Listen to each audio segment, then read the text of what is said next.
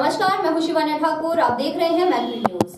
मैनपुरी के सुल्तानगंज ब्लॉक के पूर्व माध्यमिक विद्यालय जगतपुर के सहायक अध्यापक रत्नेश कुमार शाक्य ने कड़ी मेहनत और लगन से गणित के विभाज्यता के महासूत्र की खोज कर जनपद व प्रदेश ही नहीं, बल्कि पूरे हिंदुस्तान का नाम रोशन किया है। देखिए हमारे संवाददाता अभिषेक चौबे की जनपद मैनपुरी के सुल्तानगंज ब्लॉक के पूर्व माध्यमिक विद्यालय जगतपुर के सहायक अध्यापक रत्नेश कुमार साक्य ने कड़ी मेहनत व लगन से गणित में विभाजिता के महासूत्र की खोज करके जनपद ही नहीं, बल्कि प्रदेश में, पूरे हिंदुस्तान में नाम रोशन किया। जिस विभाजिता के महासूत्र के अध्यापक रत्नेश कुमार ने खोज की है, वह महासूत्र भारत सरकार ने रत्नेश कुमार को कॉपीराइट सर्टिफिकेट भी दिया है, जो 136 देशों में मान्य है। शिक्षक रत्नेश कुमार 50 से अधिक शिक्षण संस्थानों में विभाजिता के इस महासूत्र का प्रदर्शित कर चुके हैं।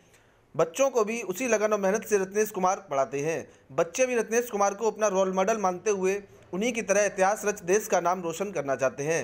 शिक्षक रत्नेश कुमार ने जिस गणित में व्यवस्था के महासूत्र की खोज की, उसी, उसकी विशेषता यह है कि इस महासूत्र की सहायता से क्षण भर में प्रत्येक प्राकृतिक संख्या के एक व्यवस्था का नियम बनाया जा सकता है, जिससे वह विद्यार्थियों को हज़ारों लाखों परंपरागत सूत्र याद रखने की ज़रूरत नहीं पड़ेगी।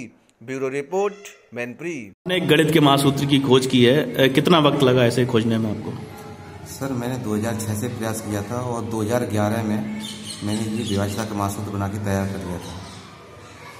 अच्छा राज्य और केंद्र सरकार की तरफ़ से कोई आपको प्रोत्साहित किया गया कहीं? सर मुझे भारत सरकार की ओर से कॉपीराइट रजिस्ट्रेशन सर्टिफिकेट देकर सम्मानित किया गया है और जनपद स्तर पर कई जनपदीय संस्थाओं ने सम्मानित किया है। अभी राज्य सरकार या केंद्र सरकार ने अन्य किसी तरह से मुझे प्रोत्साहित या सम्मानित नहीं किया है लेकिन मैं विनम्र आग्रह करता हूँ कि इस तरह की एक्टिविटीज़ के लिए जो भी राज्य सरकार या केंद्र सरकार कर सकती है वो मेरे लिए करे जिससे कि अन्य प्रतिभाएँ भी निकल कर सामने आ सकें। अच्छा आपका ये जो सूत्र है महासूत्र है इसकी क्या विशेषता है? सर देखिए कि मेरे विभाजता के महासूत्र की सबसे बड़ी विशेषता ये है कि इसकी सहायता से प्रत्येक प्राकृतिक संख्या के लिए विभाजता के नियम कुछ ही क्षणों में बनाए जा सकते हैं। अच्छा और ये बहुत ही सरल है और महाव्यापक भी है।